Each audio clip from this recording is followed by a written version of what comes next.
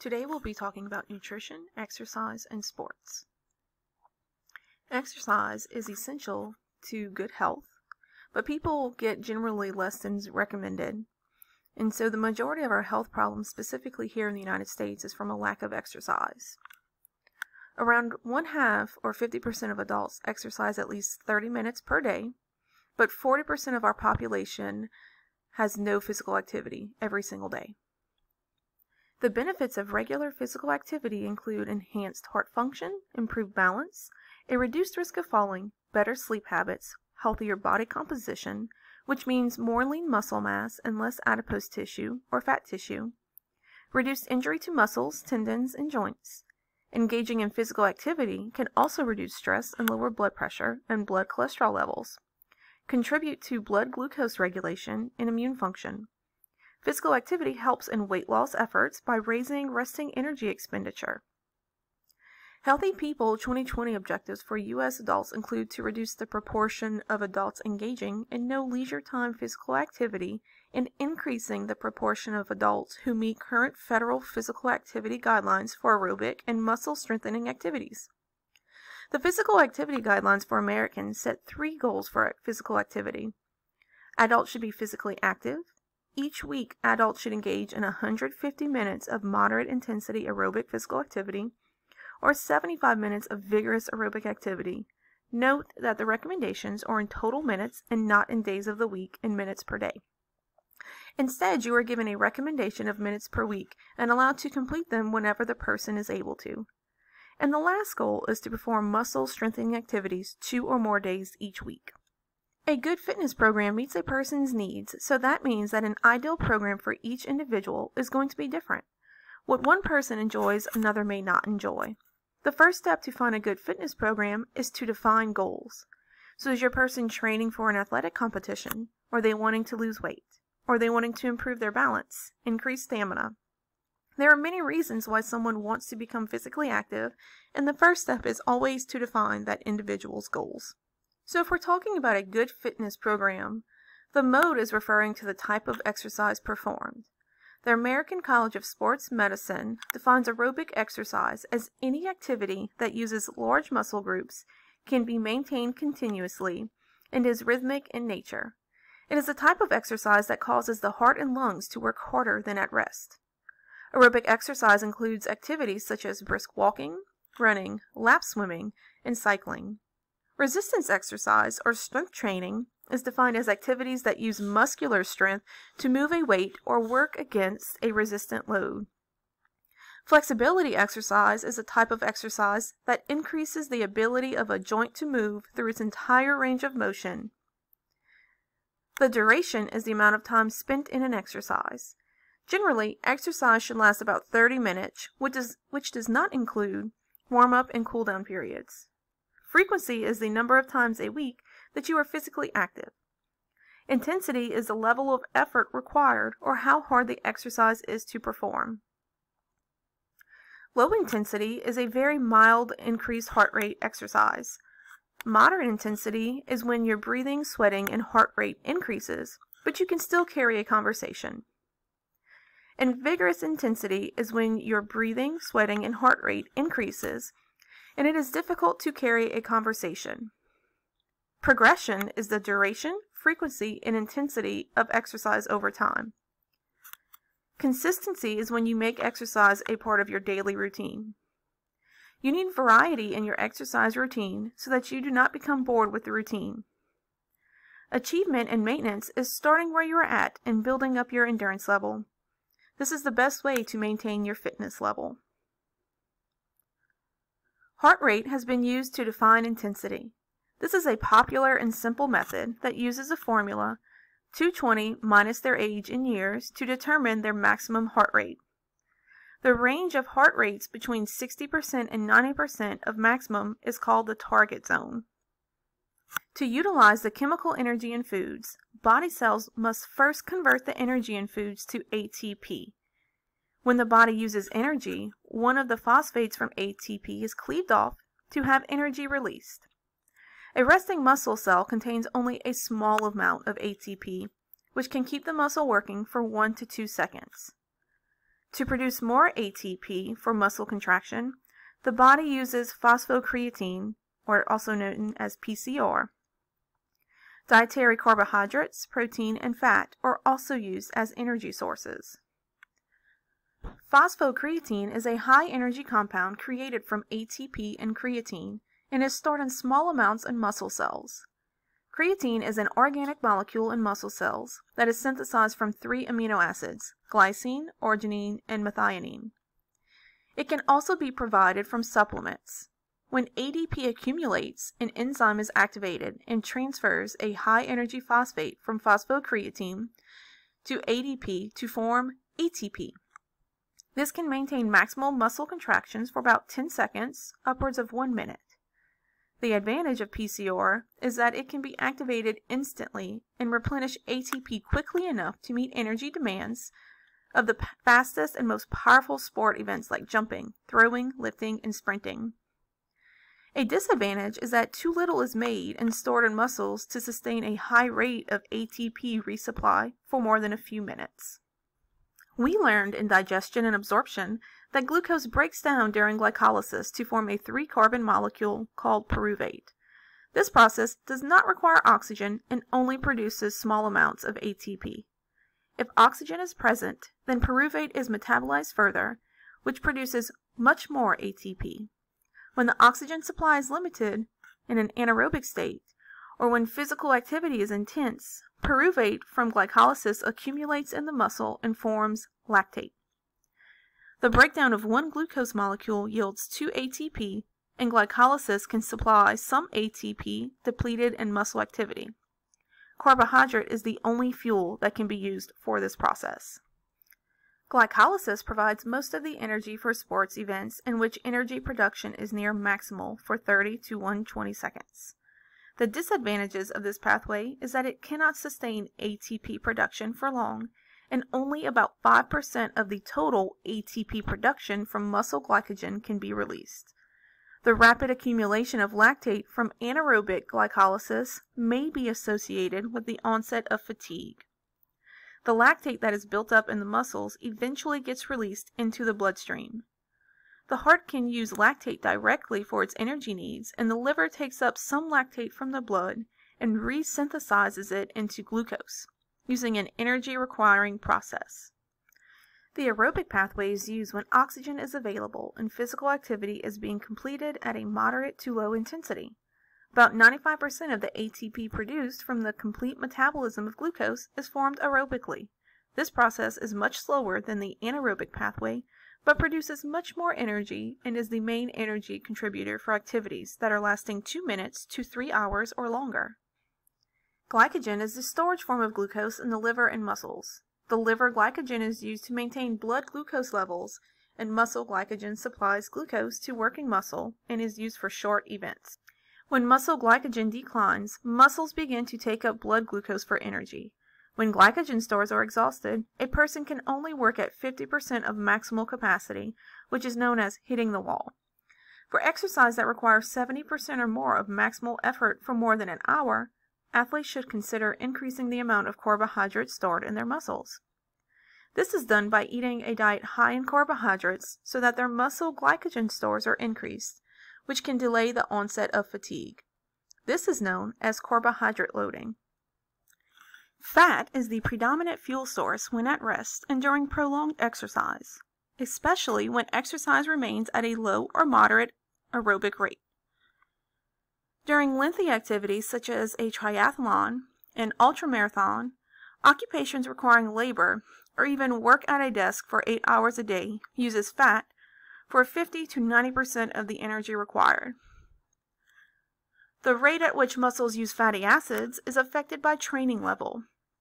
Training allows an athlete to use fat for fuel more readily, thereby conserving glycogen for when it is really needed, such as a burst at the end of a race.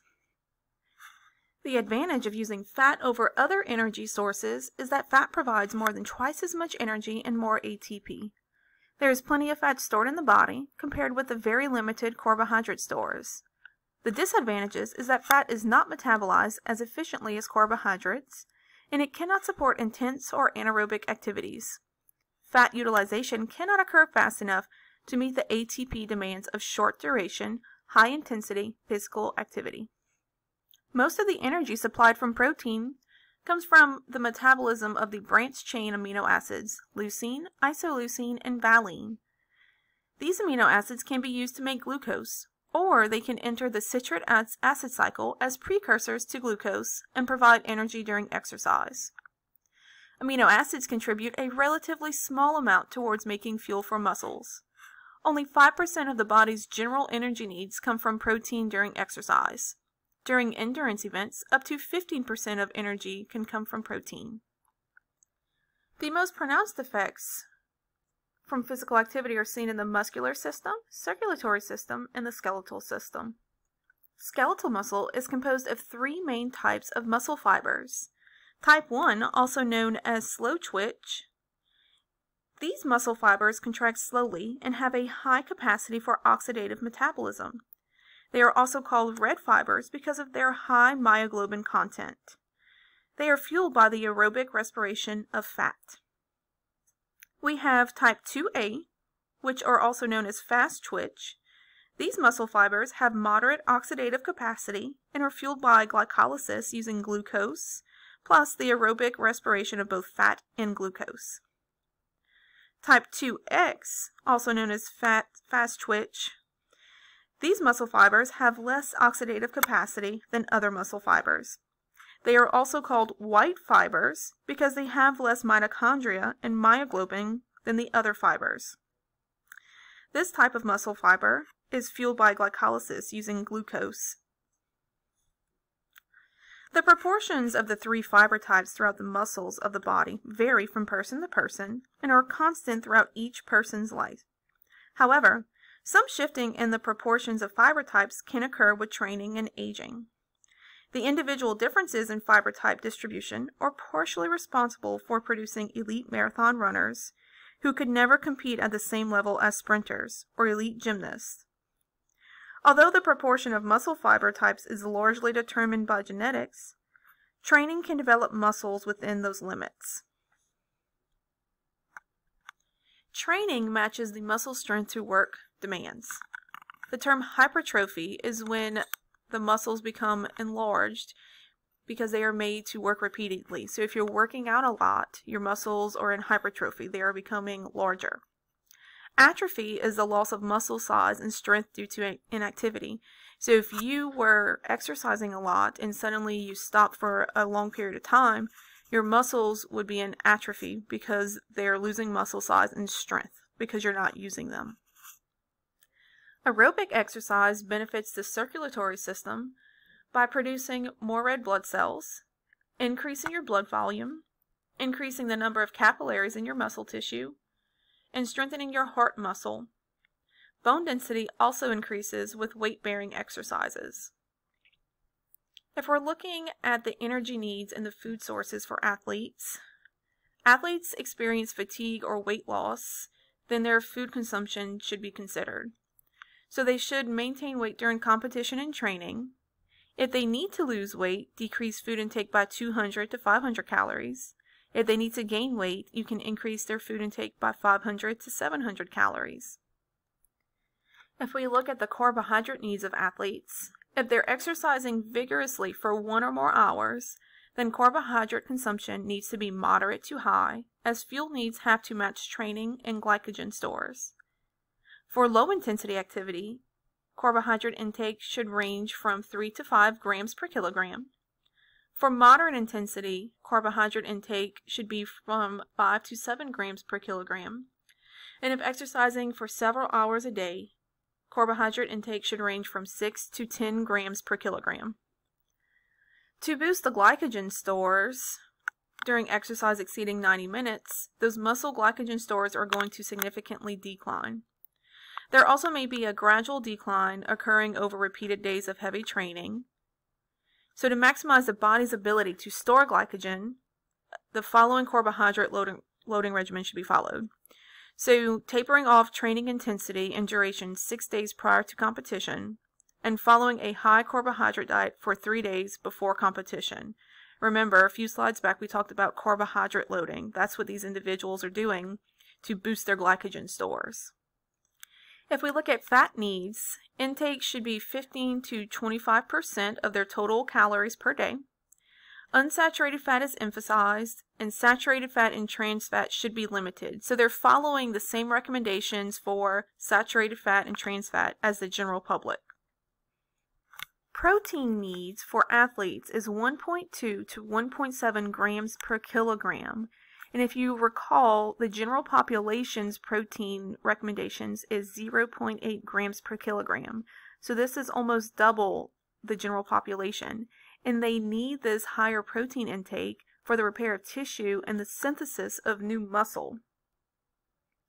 Remember, protein is not a major fuel source for exercise. Protein intakes above these recommendations result in an increased use of amino acids for energy needs and has disadvantages such as insufficient carbohydrate intake and increased urine production, which may interfere with body hydration. There's no advantages such as an increase in muscle protein synthesis. Athletes have the same or slightly higher vitamin and mineral needs, because they have a higher energy intake and tend to consume enough.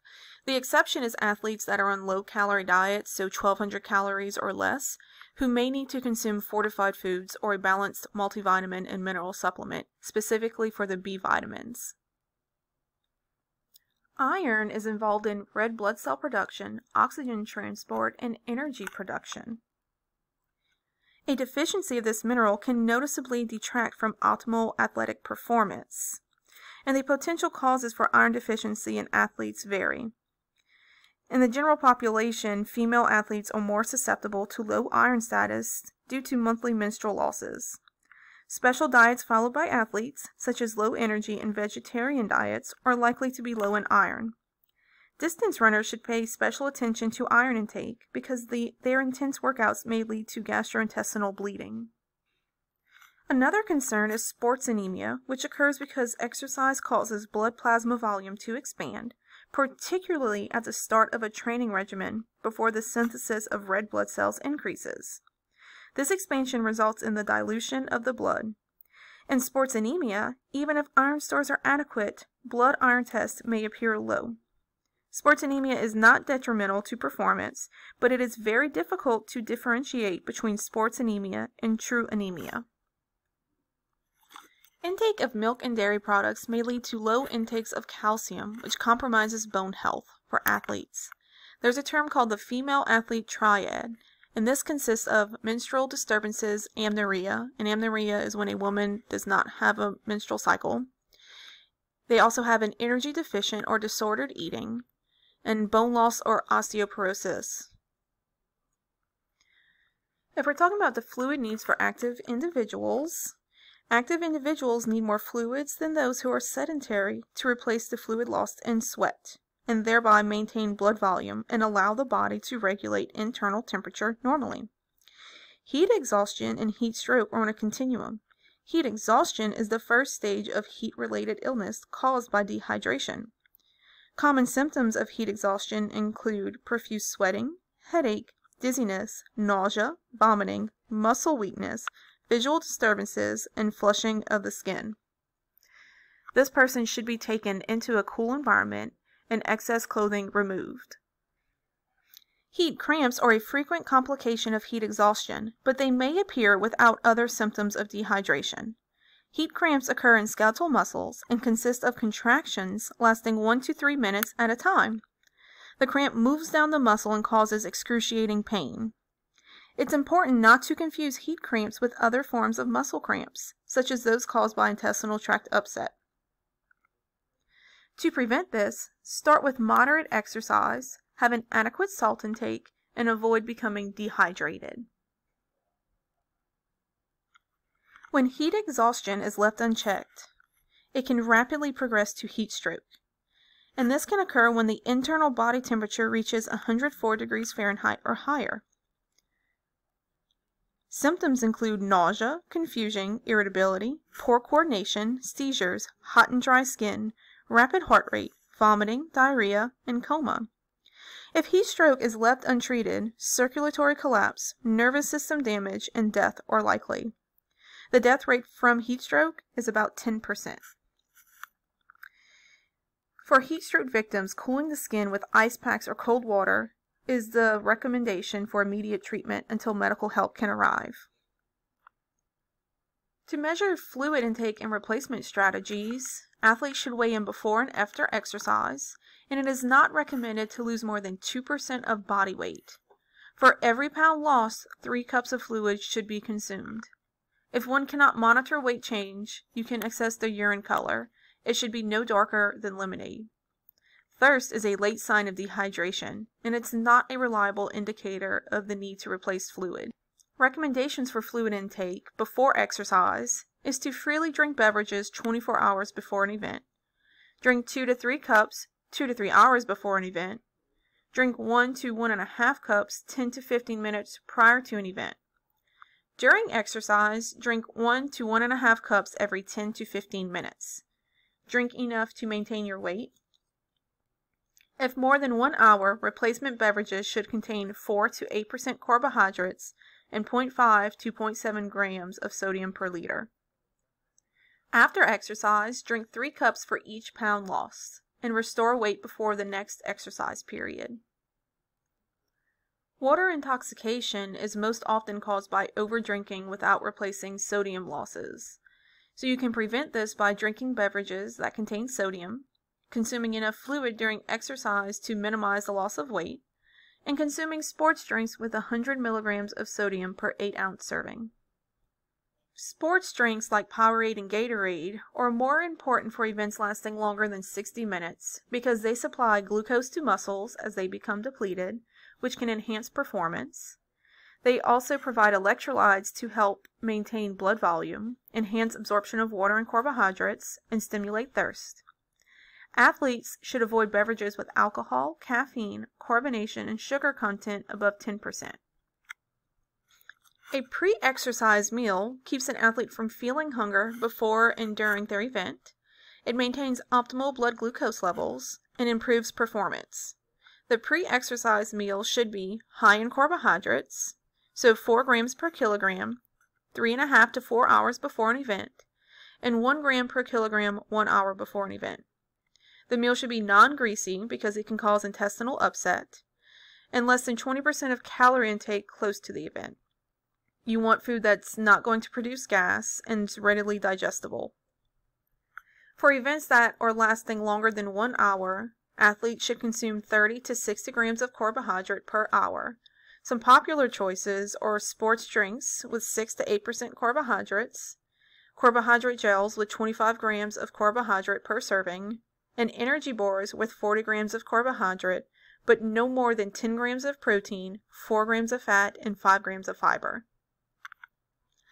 Recovery meals should promote protein synthesis and reloading of glycogen stores. So athletes should consume 1 to 1.5 grams of carbohydrate per kilogram within 30 minutes of exercise and at 2 hour intervals. The cells are more sensitive to insulin immediately after exercise, and a high glycemic load food works best and eat small amount of protein with carbohydrate. The best recovery meal is honestly chocolate milk, like chocolate skim milk. Ergogenic aids is a substance or treatment intended to improve exercise performance. Most of them are ineffective and some of them are dangerous. You need scientific support for an abundant carbohydrates, healthy varied diet, and caffeine.